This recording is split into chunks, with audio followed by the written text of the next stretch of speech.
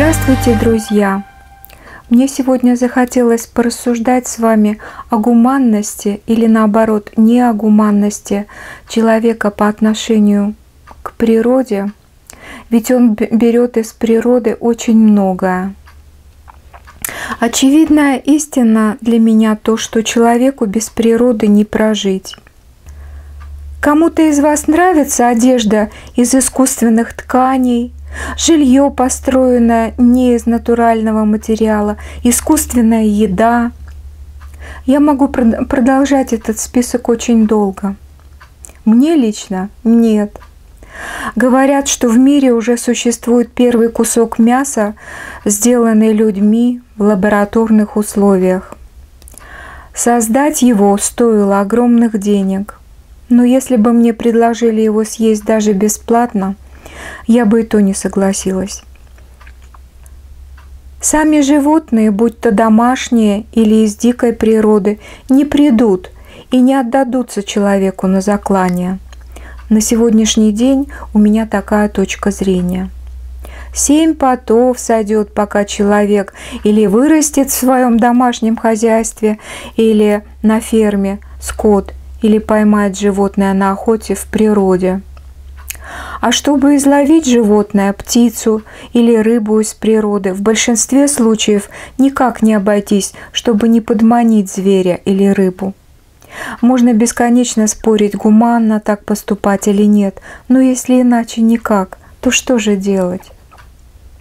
Не пользоваться дарами природы никогда и ни при каких обстоятельствах и ни в каком виде с единственной целью, чтобы отождествлять себя с глубоко гуманным человеком, это какая-то крайность, пограничная с, глупостью, к тому же совсем нереалистичная.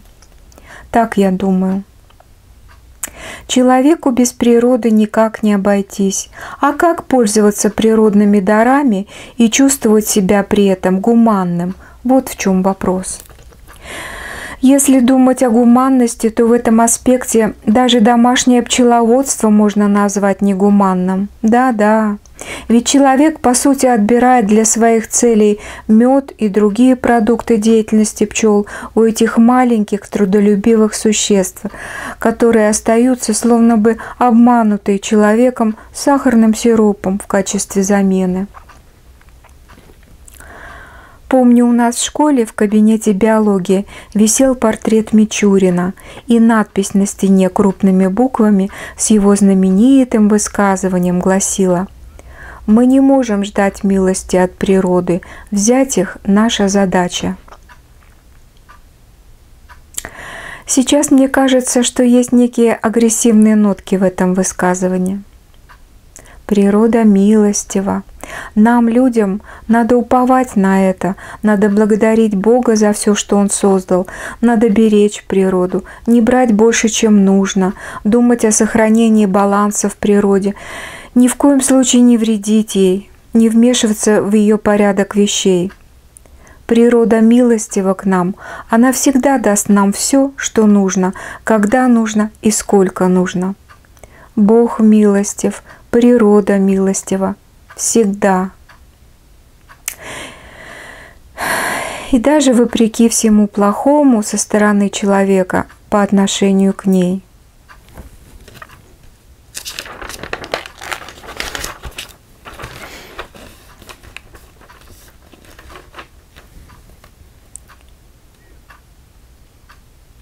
Что является более гуманным? Выращивать домашнюю скотину у себя в личном хозяйстве или на фермы для еды, или все же охотиться?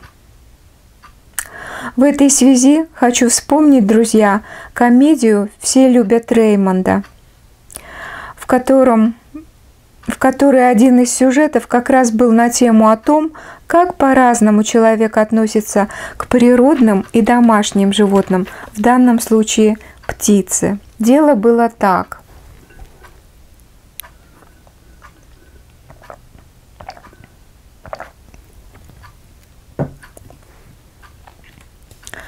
Две семьи собрались вместе, чтобы отпраздновать День индейки. Семья Реймонда была не так религиозна, как семья родственников. Хозяйка дома хлопочет на кухне над блюдом из индейки, а все остальные ждут начала праздничного застолья в гостиной. И вдруг некая птица ударяется со всей силы о входную стеклянную дверь, и после этого жизнь ее висит на волоске. Всем присутствующим очень жаль смертельно раненую птицу. Хозяйка, прослышав о случившемся, выходит в гостиную, забирает птицу к себе в кухню и говорит, что она позаботится о ней. Напряжение спало, но ненадолго. Вскоре выяснилось, что хозяйка свернула шею бедолаги птички, чтобы она не мучилась.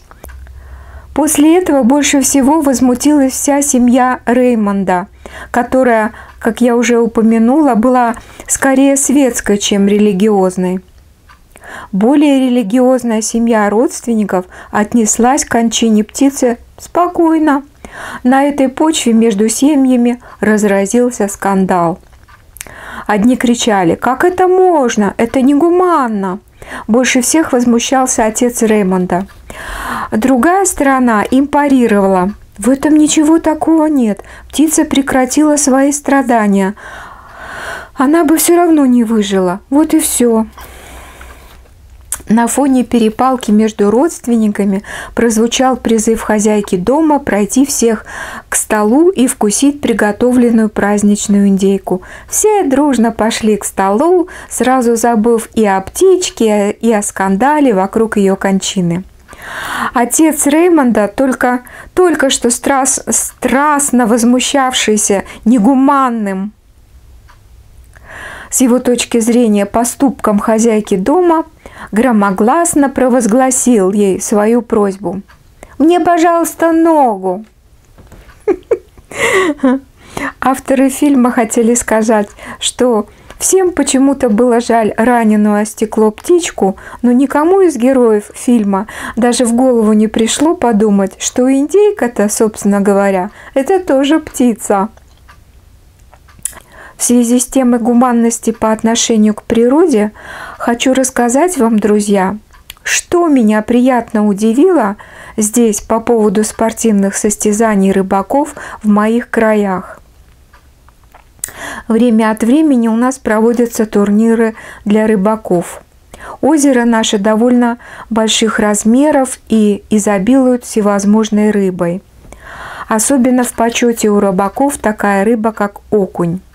В нашем местном журнале для охотников и рыболовов, которые лежат в магазинах бесплатно, то и дело напоминают читателям, что наше озеро – это озеро номер один в стране в США по ловле окуня.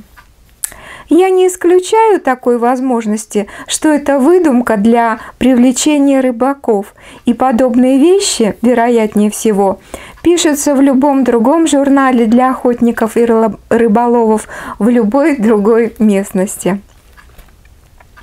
Ни я, ни муж никогда не участвовали в турнирах для рыбаков, но они проводятся в непосредственной близости от того места, где мы живем. И вот в результате такого соседства вот что интересное мне удалось выяснить о проведении таких спортивных соревнований рыбаков. Все желающие посостязаться, спортсмены-рыбаки, собираются на такие турниры, как водится отовсюду. Самый маленький приз бывает обычно около 3000 долларов – а большие призы бывают от 10 тысяч до 30 тысяч долларов. Разные соревнования, разные призы.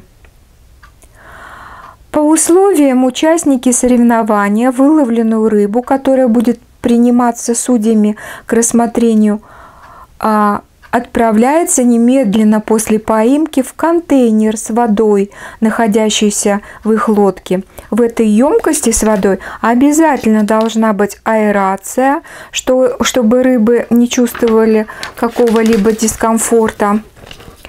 Помимо этого, участники соревнования в воду с пойманными ими рыбами добавляют таблетку, которая в случае чего защитит пойманных рыб от болезни, которую рыбак мог пере передать рыбе, когда касался ее руками. Крючки для рыбной ловли используются только такие, которые рассчитаны и сделаны так, чтобы при снятии с крючка рыба ни в коем случае не была ранена.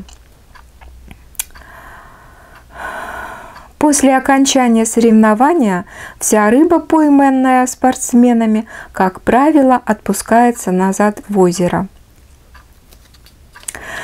На сегодня по поводу гуманного отношения к природе у меня все. Приглашаю, друзья, к беседе на эту тему. Если у вас есть что сказать на заданную тему, пожалуйста, встречаемся в комментариях. Я буду очень-очень рада. Вам желаю всего самого доброго. До новой встречи. До свидания.